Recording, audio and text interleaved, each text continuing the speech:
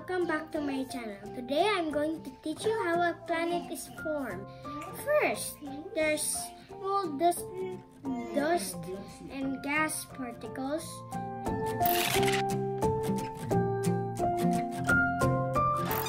Nebula that has gravity. Nebula has enough gravity and enough dust and gas particles. It starts cave in. It starts caving in and then so much heat ger- generates and make a star.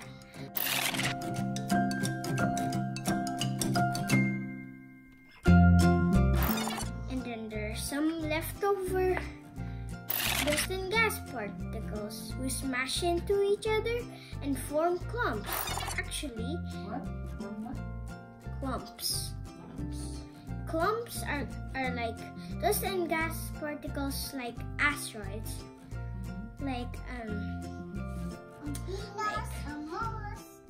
like really in the asteroid belt there are clumps because asteroids they look like clumps. Some some, some clumps some clumps in the in the in the asteroid belt are actually the asteroids. Because asteroids looks like clumps right?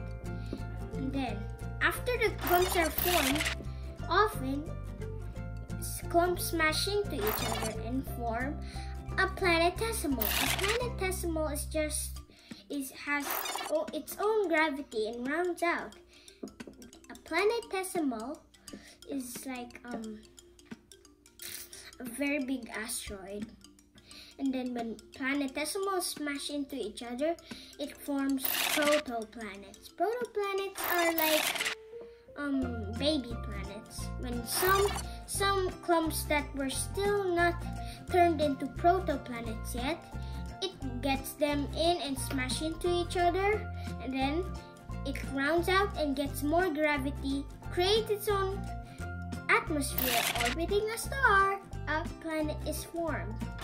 And that's all for today, guys. Thank you for watching.